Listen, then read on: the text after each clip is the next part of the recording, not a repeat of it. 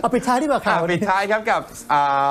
วง BTS กันบ้างครับเป็นประเด็นที่หลาย ๆ คนกำลังพูดถึงแล้วก็ถกเถียงกันว่าเอ๊ะตกลงพวกเขาเนี่ยต้องเข้ากรมรับใช้ชาติไหม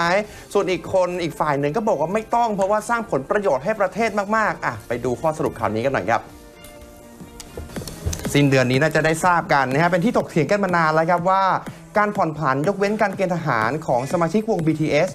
จะเกิดขึ้นได้จริงหรือเปล่านะฮะหลังจากที่ทางรัฐบาลเกาหลีใต้ครับและกระทรวงกลาโหม ได้หารือในเรื่องนี้มานานแล้ว แต่ล่าสุดในวันที่ 12 เมษายนที่ผ่านมาครับทางเลขาธิการของกระทรวงกลาโหมนะได้ประชุม เพื่อหารือในข้อสรุปเกี่ยวกับการที่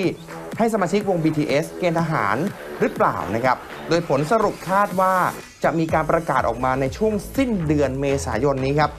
การหารือในเรื่องการผ่อนผันงดเว้นการเกณฑ์ทหารของวง BTS ครับ เนื่องจากทางวงได้สร้างชื่อเสียง และก็ทำคุณประโยชน์ ให้กับประเทศผ่านการทำผลงานเพลงมากมาย ได้รับความสนใจจากชาวเกาหลีใต้มานาน เนื่องจากกฎหมายครับระบุเอาไว้ว่า ผู้ชายชาวเกาหลีใต้ทุกคนนะฮะต้องรับใช้ชาติ โดยไม่มีข้อยกเว้น ส่วนการร่างกฎหมายเพื่อผ่อนผันให้สมาชิกวง BTS ไม่ต้องเป็นทหาร ก็ยังไม่มีการสรุปออกมาเป็นข้อกฎหมายที่ชัดเจนครับ เพราะว่าคนจำนวนไม่น้อยครับมองว่าวง BTS ได้รับอภิสิทธิ์มากจนเกินไปครับ ทางตัวแทนจากกระทรวงกลาโหมเนี่ยเผยว่าในขณะนี้ทางรัฐบาลเกาหลีใต้กำลังประชุม เพื่อหาทางออกในเรื่องนี้อย่างเคร่งเครียด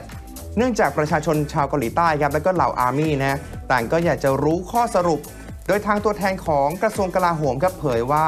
การหาข้อสรุปว่าสมาชิกวง BTS จะต้องรับใช้ชาติหรือเปล่า พิจารณาจากการสร้างคุณประโยชน์ครับให้กับประเทศชาติเป็นหลักว่า เพียงพอหรือเหมาะสมหรือไม่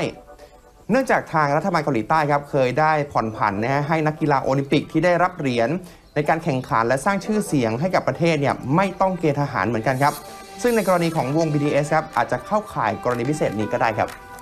อืมแต่ว่าเรียกว่าโด่งดังไปทั่วโลกแล้วสร้างเม็ดเงินเข้าเกาหลีใต้มหาศาลจริงๆนะคือหลายคนก็กังวลแหละว่าถ้าเกิดหายไป 2 ปีเนี่ยความดังมันจะยังใช่ใช่